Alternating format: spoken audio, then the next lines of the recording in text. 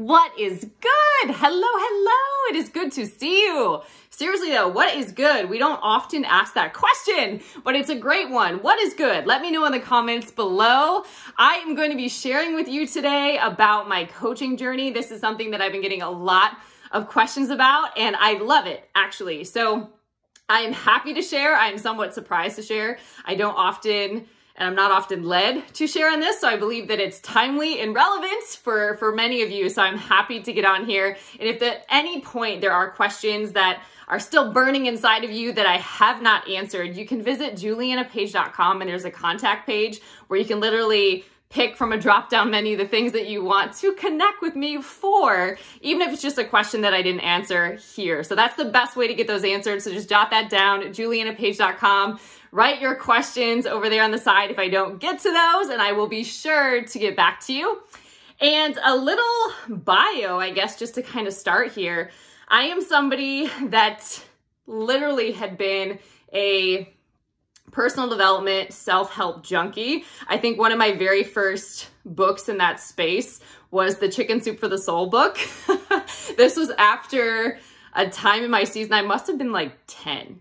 I think it was 10. And I was on a flight somewhere and I just needed some sort of material to read. And at the time, I did not like reading. Like you read books because you had to, not because you enjoyed it, right? Or it was bedtime and you had to have a book read to you, right? So I was not super amped about this, but I read this book and it was like, I just felt instantly like there were because this was before social media also, so keep that in mind. But I felt instantly like there were so many people around the world that had stories that were as wild and tumultuous and upsetting and just scary at times and painful and just unsettling. And that I was not weird, I was not random, I was not alone. And I literally read that entire book so fast. And then I found out that there were so many more of them. But I think after that, it really just lit something up in me like, okay, there must be a reason that all of these things happened in my life and that I am being put on this path and I don't take that lightly, right? And so I had been on after that point from 10, and this is when I found out that I was adopted. And essentially in my life, I have many sets of parents, but none of them were the parents that I needed.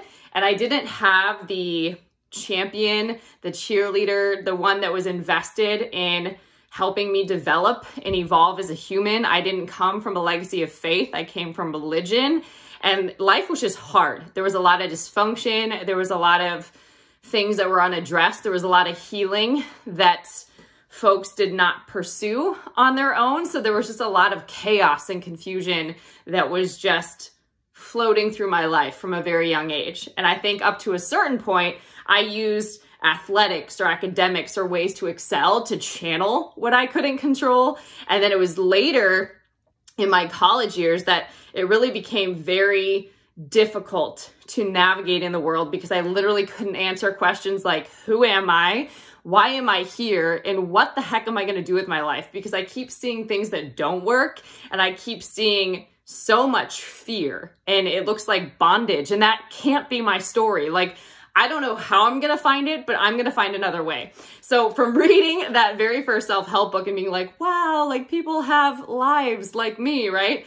I'm not alone to literally having this desire to continue to grow and to learn and evolve. I just had this voracious hunger, right? That I I couldn't I literally could not alleviate, right? Like I was just so hungry to grow and it was just very interesting. I would just because of that also found that I had a tendency to be more mature. Like I just grew up really fast and it made it hard to just have fun and enjoy my life. So at any rate, I was somebody that was always looking for how to grow, how to change myself, how how to become better in some kind of way, how to fix what is not working in my life. Like I was going to find it, I was going to figure it out, and a lot of that was a revolving around what I'm going to do in the world. What am I going to do in the world? Who am I? What am I going to do?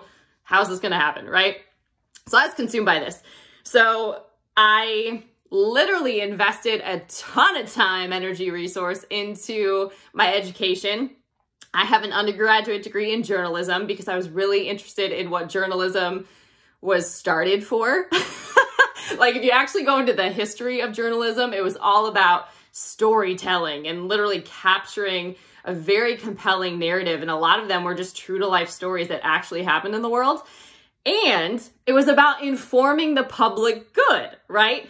So I was super intrigued by that. But then the more and more that I was in positions, whether it was in radio or whether it was with magazines, I was not prepared for the culture, for the demands of the job, for the work environment, just for all of the activity that was operating in that realm.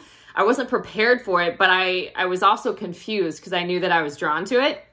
So fast forward, I went to graduate school for film production to literally build on my love for flipping narratives, right? From and which also comes from my own story. Like how do you take a mess and turn that into your message or all these tests and turn it into a testimony or all this pain and turn it into power? Like how do you do it? But all I knew was that people in film seem to have figured it out, right?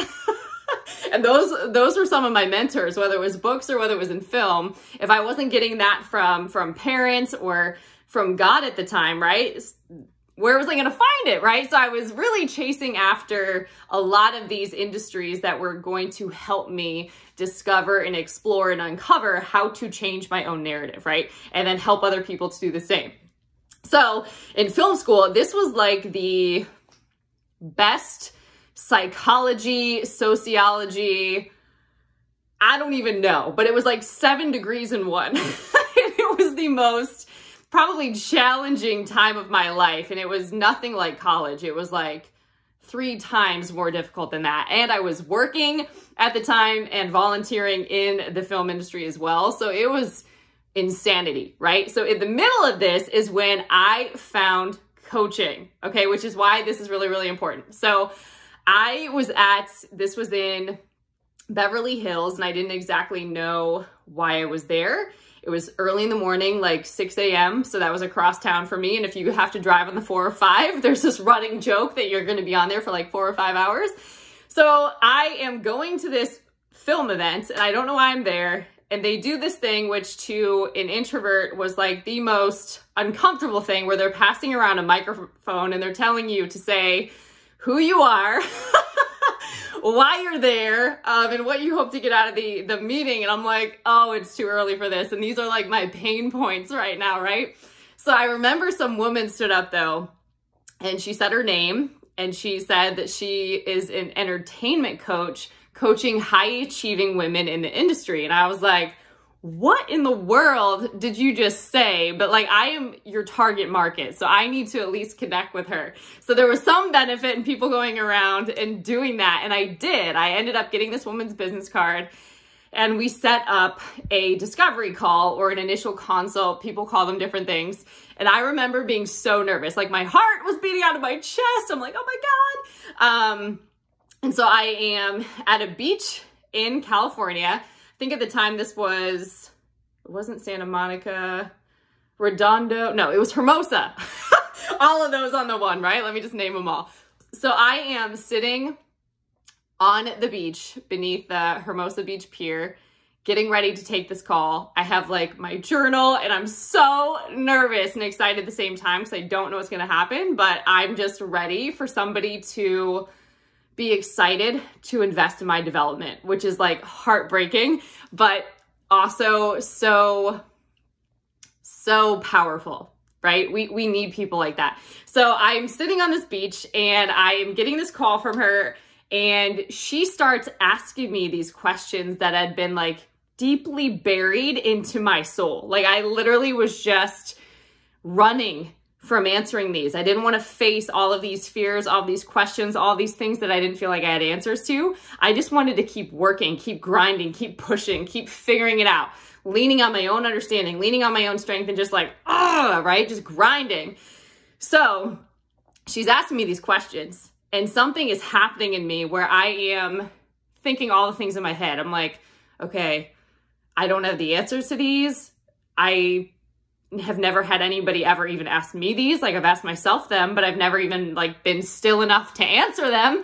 And I am actually aware that this is going to lead to her telling me how much it is to work with her, which is scary. But the scary, nearly terrifying thing of that whole experience was I am so afraid of what's going to happen to me and my life story, right? My book of destiny, if you will, if I don't answer these questions, if I don't get still, if I don't start actually doing this inner work, I am more afraid of what's going to happen to me if I don't, right? Because I know that avoiding, running, being busy, channeling things into these other healthy means, whether that's, you know, athletics or overworking or whatever it might be, those are only temporary fixes, right?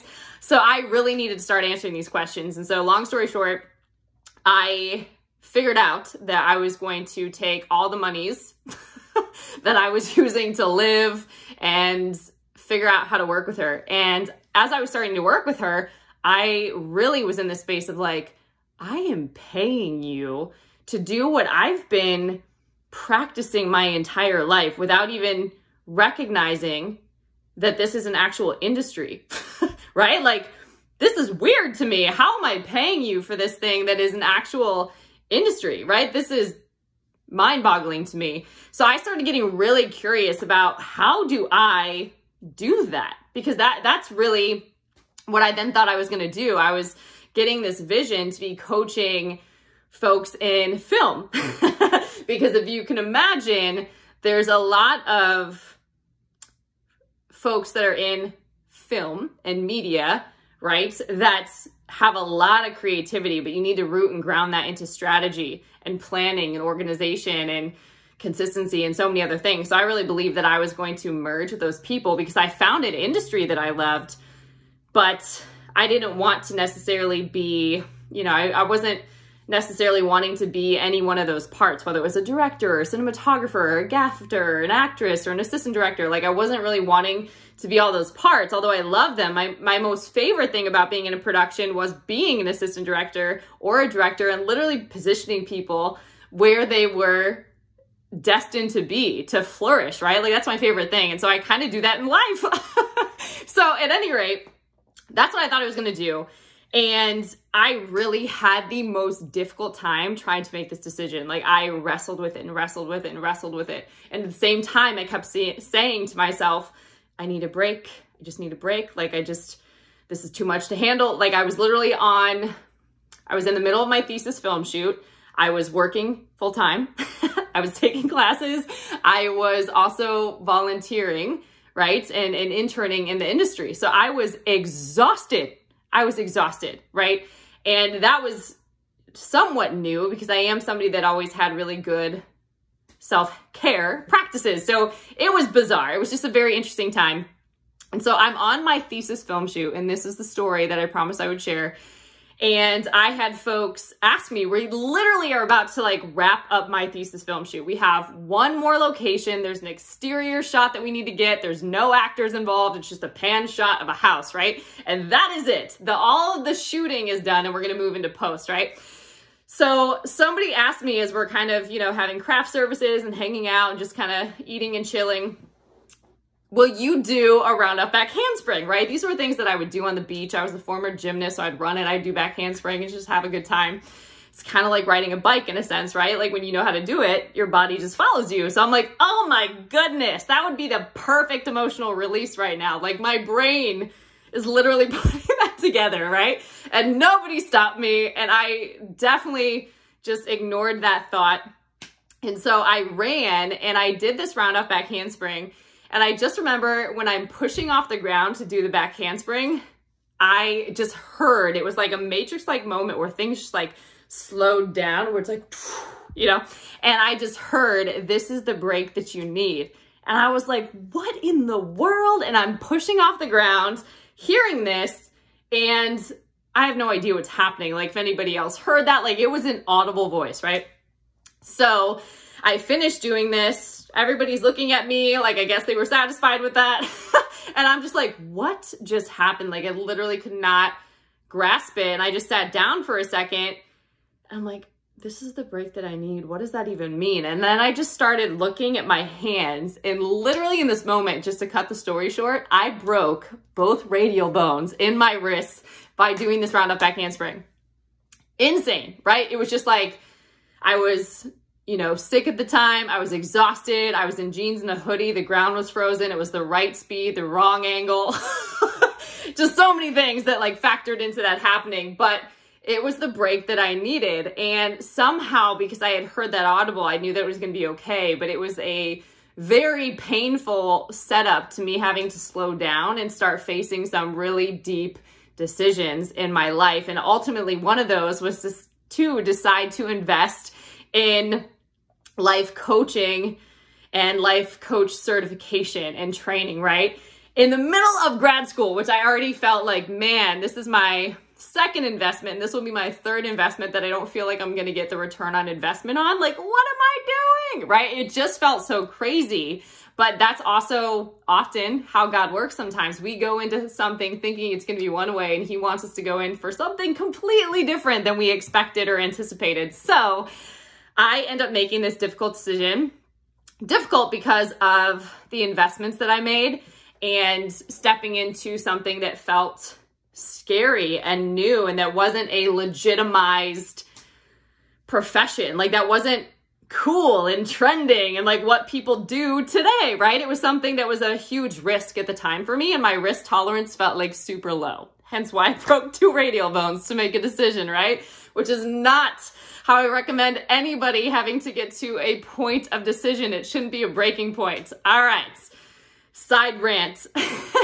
so at any rate, I decided to go through life training, life training, life training, life coach certification school. And I did this, this must have been in 2000, 2008, right? So I did that. I got certified. I even went to their graduate level of the training as well. And this was insane. Like I started, I was the first person done with my film. I, you know, really started showing up differently in my environment. I started carrying myself differently. I was just alive on a whole new level, even though I had broken bones. It was wild, right?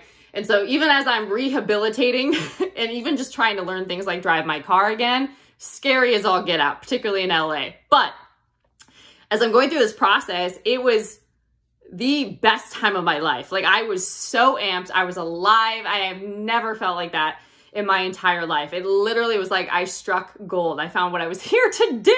Finally, OMG, right? So now I had to face this really interesting decision of now what? Because I really recognized that the initial idea that I had to coach folks in the film industry was not something that I was strong enough to do at the point. I didn't really recognize why, which I'll get to, but I didn't have like the inner fortitude to, to handle that or to hold enough belief for these folks yet. So I was really wondering and curious about like what next what am i going to do? And i was led definitely by god. Still wasn't walking with god but definitely by god to move across the country so that i could launch the coaching practice and also live my life and just find out things that i enjoy doing because the former season was just there was no play. And i need play in my life right? Like i do have this very joyful nature joy is is how I'm wired. It's also a third of the kingdom, so it's important to God. But Juliana Page actually means joyful messenger or youthful servant. So it just it kind of makes sense that if you cut off joy and if I can't activate my joy, I'm in big trouble, right? And it's where strength comes from. So through all the hard joy is how you can whether it's laughter, whether it's play, whether it's creativity, that's how you can like literally release all of that anxiety and fear and these things that we sometimes hold on to when we're triggered, right? So I move across the country. I launch my coaching practice and a few years, a few years into it, I just heard, and this was God again, that I need to kill it. Just kill it. Just, you know, let it go. Just, just like that. And I literally had nowhere to put that. I didn't know I'm somebody that likes to have plan A, B, C, D, E, F, G, right? Like I just, if there's only plan A, like, and plan A is not it, what do you do, right? I just was not prepared for that to happen. But I knew at that point that if I didn't listen to that voice, even though I didn't identify that voice as Holy Spirit and the voice of God, I knew that if I didn't listen, life was going to get really hard for me and things that I was going to do were not going to work. Like if you build it in your own strength, you have to maintain it in your own strength. So I inherently knew that, but I didn't know what that meant or why. I didn't know the why, but it was more so the lesson was, are you willing? this thing that I gave you, this thing that you love, this thing that you are gifted in, are you willing to surrender it? Surrender your Isaac, right? It's definitely like that story. Are you willing to do that? And so that was a huge test, and I did. I laid it down. And after that, which is really humbling, I went into corporate America and started training and coaching. And then I moved into the nonprofit space. And it was in that time where I literally had this crazy encounter with God and just surrendered my life to God. I was in a really difficult time in my life and just didn't have really strong, healthy relationships and community around me. And I just was tired. I was tired trying to figuring things out. I was tired of starting over. I was tired of having to be so strong in my own strength. I was tired of just navigating and trying to figure it all out. And I just couldn't do it. Like there has to be more. There's got to be a better way, right? Like it, it's not supposed to be this hard. And I don't want to feel disconnected or isolated. And I want to have the right people in my life. And I want to be able to discern if they're right or not. I don't want to have to go down that path only to waste time, energy, emotion, heart. You know, heartbreaks really take a long time to recover from, or they can, right? It's not always the case, but they can, right? And so I just didn't want to set myself up for failure, but I didn't have, you know, that again, that fathering, that nurturing, that guidance. And I was so hungry for that. Literally, what I wanted more than anything was discernment. I was like, turn up my discernment. Yes and amen, right? And so God completely flipped my world upside down. I thought it was going to get, you know, easier, more fluid. No, it got hot, spicy, fiery furnace type stuff.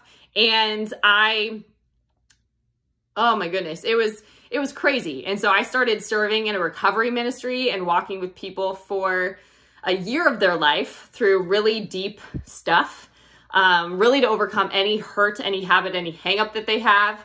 Then I was led into prophetic ministry and into ministry school. And I already had a couple of ministry certifications at that time. Um, it was just really how to coach in the church was one of the certifications. I had just a couple of different ministry certifications. And so then I went to supernatural ministry school to really learn more about the kingdom um, and started traveling to different conferences just so I could learn more and, and really just expose myself to these tools and resources that God was really putting on my heart to grow and develop in. And then I started writing books which is never part of the plan. that I thought was going to feel like punishment, but it's just something where God's anointing fell and something that I was faithful to do. And God, in short, gave me new tools, new language. He gave me a grid for everything that I didn't have and not having a legacy of faith handed down to me. Um, and it blew my mind. Like he started accelerating my journey in him and my growth journey and my maturity in Christ. And I just started getting so many downloads and wisdom and revelation and prophetic words that God was walking me out and, and really walking me through some some really deep and dark stuff, right? Like again, life didn't get easier and I just had a different way of fighting and showing up in the world and I started to be led by God and it literally was the best thing and in answer to that one question, if you could give somebody one thing, right? Like if you were to leave the earth and you could give somebody one thing, what would you give them? And it would be to be led by God, to be able to have a spirit led life where it's not your own thoughts, your own motives, your own hustle and muscle, but it's literally really learning how to align yourself with God and his word and his truth and his heart and his character and his presence and, and what's on his heart for this season and what is he leading you to do and has he, he affirmed that in his word and how you can hear his voice for yourself and how you can really just live in his presence every day and be guided every single day and supported every day and provided for every day. You just literally become an entirely new person. You are a new creation and it's something that has brought me so much joy. It's just really woke me up to my true nature. And so in short, I went from the self-mastery, self-help, inner work, I'm gonna fix myself to like, I straight up can't fix myself. And like, if you could help and do the heavy lifting, that'd be great. And God does, which is so, so awesome. So God does the work in us, right? And he meets us where we're at. And then he takes us on a journey and he takes us on a process and he uses our willingness and our, our obedience to walk it out one day at a time, one moment at a time, one step at a time. So what I do now, I am, of course, a master certified life coach. But what I decided to do, because I was led to do this, was that I was going to make God the foundation of my business right? God's work is what I want to do. I want to point people to God. I want to guide them in having a relationship with God. I want to help them in being led by God so they can truly bring heaven's influence through whatever they're called to do on earth and to their sphere of influence, right? So that has turned into working with executive directors, working with CEOs, working with entrepreneurs, working with people just like me, a simple human just like me that that want to grow with God. So I literally help people live a spirit-led life. And God's Vibes Matter is just a very quick fun story. I my initial coaching practice was called Vibes Matter, like how you think affects how you feel, which affects how you show up in the world. It's literally your behavior is all driven from that. And so I joke that I got self-checked by God. It was just like, like we're going to pull you back because to tie up the loose ends on that story, he is who I want to point people to. I don't want to point them to self-help. I don't want to point them to the very things that continue to have me searching. God wanted to stop the search so I could seek the source. And so that's what I help people do as well. Whether they are seeking, seeking, seeking, they just need to stop and they need to seek God, or whether they're hustling and grinding and they just need to be led by grace. I help people recognize by personal experience and point them to the source, right? Through this mantra, God's vibes matter, right? Not every vibe does. Not everyone is even worthy of your attention and of your focus and you being able to really test the spirits and know what they're of and hear from God for yourself and receive prophetic words and test the words and prove them, right? And study the word to show yourself approved. All of that changes your life. It changes your business. It changes your relationships. It changes your family. And so I yes, help people through the form and the vehicle of life coaching, but I do it with God, meaning there could be sozo, there could be prophetic, there could be truth and wisdom from the word of God, but I incorporate that all into how I coach and how I work with people. And one of the things that I am launching here I have a waitlist up now for is the God's Vibes Mastermind. And I am so excited about this. This is something that God put on my heart. And essentially, the books that I've written, whether it is Reclaiming Your Spiritual Authority, Co-Laboring with God, uh, ruling and reigning in life or stepping into royalty, all of that, I've turned that into course content and I am coaching in a group format, which is beautiful. Beautiful, beautiful, beautiful, because there's so much power in testimony, right? We're transformed by the power of testimonies. It's so, so true. And so there's something to be said about growing and developing in community with like-minded, like-hearted people that are hungry, but hungry for God, right? And that's really want to be on this experience together. So I have a six month God's Vibes Mastermind. It is launching in October. So I've, I've got it all set up. So that's something that you will see more of here, but you can apply for it now. There's a link for it in my bio. But essentially, you'll get access to all of the courses, all right? And then there are weekly lives and weekly coaching where you can get on and get coached. And then there's also homework as well that you can be applying throughout to really help you in all those different areas, whether that is launching a business, whether that's just growing in your personal relationship with God, whether that's learning more about the prophetic. We cover all sorts of territory. So it's really great whether you are a mature believer, if you identify as that, if you identify as a baby believer, wherever you're at in the journey, it's so good to be challenged in that way and constantly be growing and, and really testing yourself and studying and maturing and fasting and praying. So we have a private community where you can grow and where you can do that. So stay on the lookout. If you do want to learn more about coaching, I'm happy to answer those questions.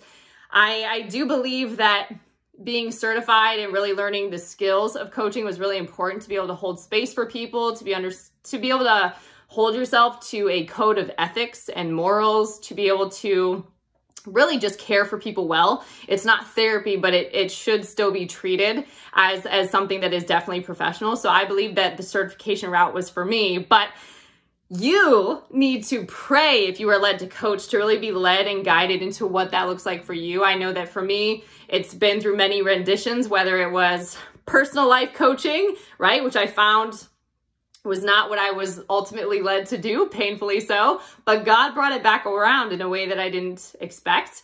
I, whether that's corporate coaching, whether that's in the nonprofit space, I've, I've really been in all of them. And now that I specifically focus on this mastermind and then also working with private clients as well. So if you want to know more, feel free to, to ask away. I am an open book as far as that's concerned. And I'm so excited to be able to share this with you. I thank you so much for listening and I look forward to sharing all these beautiful things with you. All right, guys, until next time, stay blessed.